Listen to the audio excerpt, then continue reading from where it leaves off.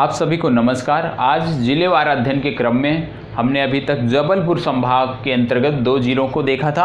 आज हम देखने वाले हैं सिवनी जिलों के बारे में। तो सिवनी ज़िले के बारे में क्या फैक्चुअल है, क्या फैक्ट है, जो हमें पता होना चाहिए जिलेवार अध्ययन के क्रम में, उसके बारे में हम डिटेल से जानने का प्रयास करेंगे। और जो हमारा भौगोलिक प्रदेश है या राजनीतिक प्रदेश है, इन सब के बारे में आपको अलग से एक वीडियो मिलेगी। और सप्ताह में दो वीडियो की बात हुई है तो दो वीडियो आपको अलग अलग खंडों से मतलब मध्य प्रदेश राज्य विशेष का जो विशेष होगा, वो आपको निरंतर मिलता रहेगा। तो चलिए बात कर लेते हैं हम सिवनी ज़िले के बारे में। सबसे पहले कोई किसी ज़िले की बात करते हैं तो उस ज़िले की जनसंख्या क्या है, क्षेत्रफल क्या है, इन सब के बारे में हमें पता होना चाहिए। दूसरी बात क्या होती है कि वह जिला कहाँ पर स्थित है, ये पता होना चाहिए। तो आज आपको बताना है कि जो सिवनी जिला है, जैसे आप पहले भी करते आए हैं कि सिवनी जिला जो है, उससे कितने और ज़िले मतलब उसकी सीमा रेखा कितने जिलों से लगती है, वो आप हमें बताएँगे। तो उसका काम आपका है। तो सबसे पहले सिवनी ज़िले की बात करें तो यहाँ की जनसंख्या है। टोटल यहाँ की जो जनसंख्या है वो है तेरह अठहत्तर आठ सौ छिहत्तर। इसको आप बोलेंगे तो आ हो गया तेरह लाख अठहत्तर हज़ार आठ सौ छिहत्तर। लोग यहाँ पे रहते हैं, ये आधिकारिक जनसंख्या के आंकड़े से पता चला है। क्षेत्रफल की बात करें तो क्षेत्रफल यहाँ का है आठ हज़ार सात सौ अट्ठावन वर्ग किलोमीटर। स्थापना, इस राज्य विशेष की स्थापना की बात करें तो ये राज्य जो है, बहुत ही पुराना है। कहने का मतलब है, इस राज्य की स्थापना तब हुई थी जब मध्य प्रदेश नए राज्य के रूप में स्थापित हुआ था। तो मध्य प्रदेश नए राज्य के रूप में स्थापित हुआ था एक नवंबर उन्नीस सौ छप्पन। तो राज्य निर्माण के समय से ही यह जिला अस्तित्व में है तो एक प्रकार से कह सकते हैं कि पुराना जिला है। तो स्थापना कब हुई थी इस ज़िले की? एक नवंबर उन्नीस के।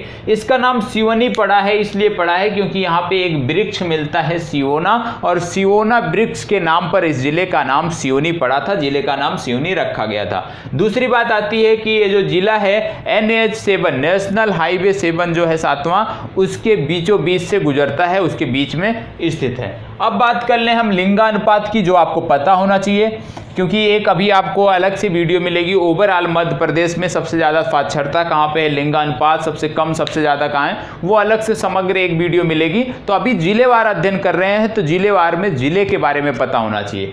तो इसमें लिंगानुपात है नौ सौ बयासी और साक्षरता दर यहाँ पे है बहत्तर दशमलव दो प्रतिशत। तो इस ज़िले में साक्षरता दर है बहत्तर दशमलव दो प्रतिशत। जनघनत्व की बात करें तो एक सौ सत्तावन व्यक्ति प्रति वर्ग किलोमीटर में रहते हैं सिवनी ज़िले के अंतर्गत। ये आपको पता होना चाहिए।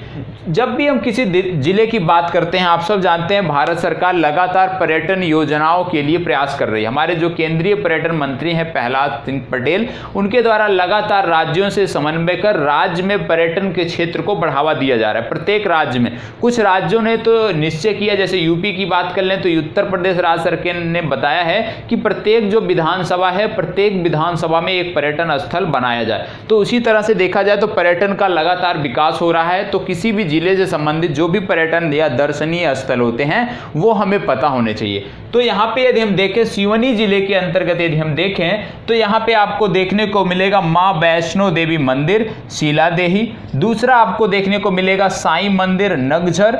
और ये है मोहम्मद शाह वली की मज़ार। ये भी अक्सर पूछा जाता है। ये मोहम्मद शाह वली की मज़ार पूछा गया प्रश्न है। और है कात्यानी सिद्धपीठ, फिर है आधे गाँव का किला।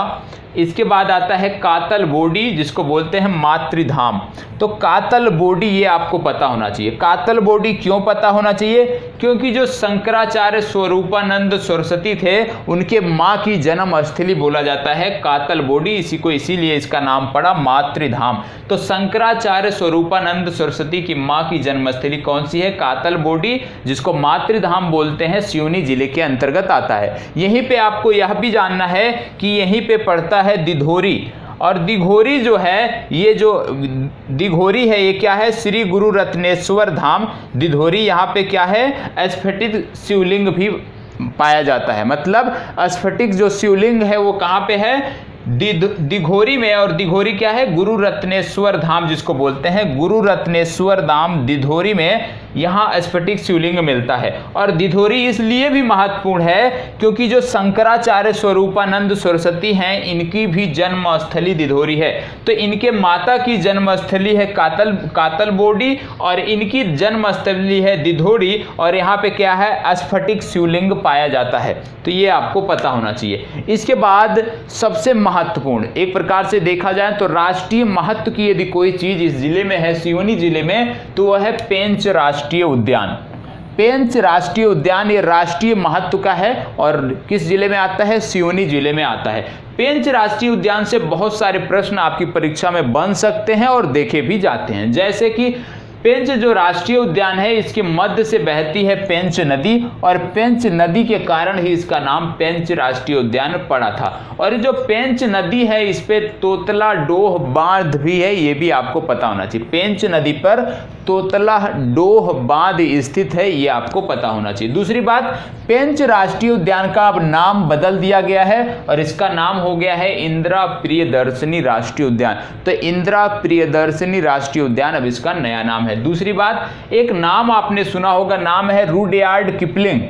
रूडयार्ड किपलिंग की जन्मस्थली बोला जाता है इसको। रूडयार्ड किपलिंग के कौन है? इनको नोबल पुरस्कार भी मिल चुका है। नोबल पुरस्कार विजेता रूडयार्ड किपलिंग की कर्मस्थली भी इसी को बोला जाता है, क्योंकि भारत लौटने पर छह वर्षों से अधिक समय अपना इन्होंने यहाँ पे व्यतीत किया था, और यहाँ पे इस रीजन को मोंगली लैंड के नाम से भी जाना जाता है। मोगली लैंड के नाम से भी पेंच राष्ट्रीय उद्यान का जो ये रीजन है, जो ये क्षेत्र है, उसको जाना जाता है। इसके बाद आपको ये भी पता होगा कि पेंच राष्ट्रीय उद्यान जो है, वो भारत के प्रोजेक्ट टाइगर के अंतर्गत आता है। मतलब पेंच टाइगर रिज़र्व भी है। तो पेंच जो है, ये टाइगर रिज़र्व भी है, ये भी आपको पता होना चाहिए। दूसरी बात, यहाँ की जो नदी है, बेनगंगा। बेनगंगा जो नदी है उसका उद्गम स्थान जो है वो सिवनी ज़िले में पड़ता है। कहाँ पे पड़ता है? ये पड़ता है मुंडारा स्थान है। मुंडारा जिसको बोलते हैं रजोला ताल रजोला ताल जो है मुंडारा में वहाँ से बेन गंगा नदी का उद्गम हुआ है। ये आपको पता होना चाहिए।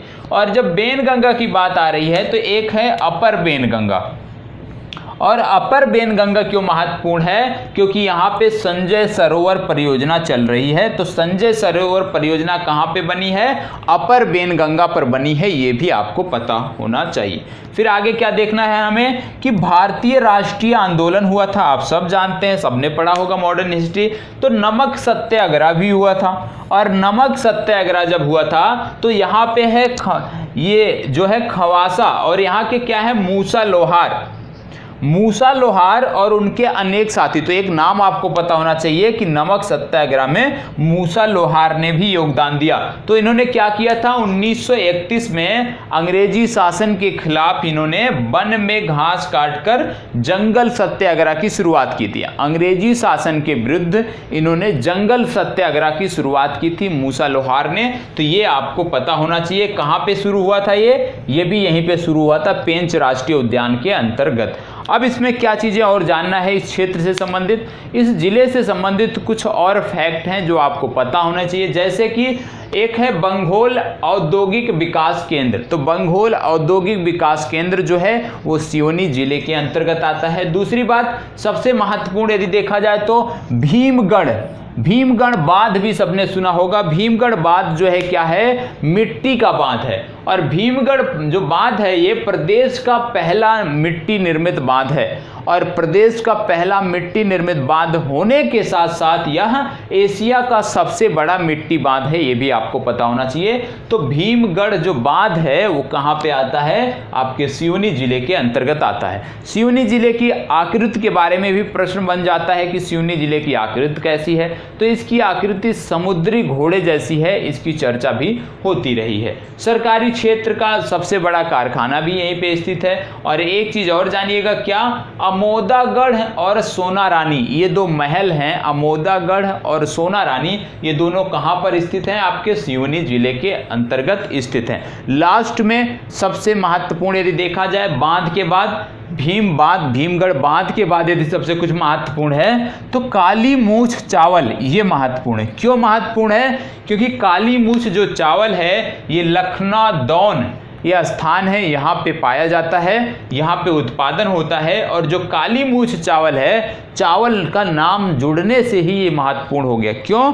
क्योंकि इस वर्ष जो 2019 में और 2020 को मिलाकर दो चावल को जीआई टैग दिया गया है। पहला चावल जो जिसको जीआई टैग मिला 2020 में, उसका नाम है चकहाव काला चावल मणिपुर का है। दूसरा था कतरनी चावल ये मुंगेर बिहार का है, इसको भी जीआई टैग मिला है। तो चावल नाम जुड़ने से ही ये महत्वपूर्ण हो जाता है, क्योंकि बहुत सारे चावलों को जीआई टैग मिल चुका है। तो सिवनी ज़िले के अंतर्गत जो भी फैक्ट थे, जिनके बारे में आपको पता होना चाहिए, समग्र रूप से आप तक पहुँचाने का, आपको बताने का प्रयास किया है। यदि अच्छा लगे तो प्लीज़ लाइक शेयर और कमेंट अवश्य करें। धन्यवाद।